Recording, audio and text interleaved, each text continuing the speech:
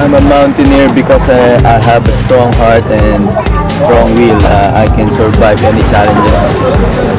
I can glide through any trails, ride through any trails, anywhere, anytime. Siguro, passion ko na yun ever since nung bata ako. Kasi nag-scouting pa ako.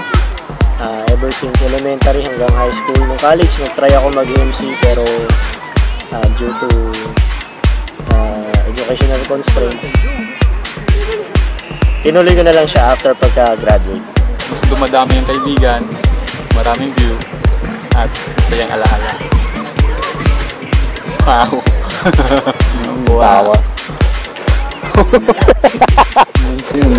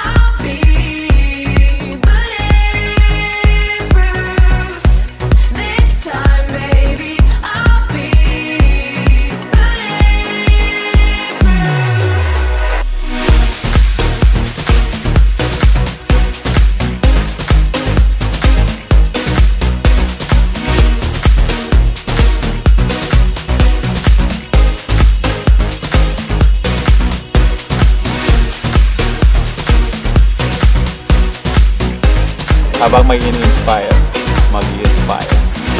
Yeah. yeah. wow, wow, wow, wow.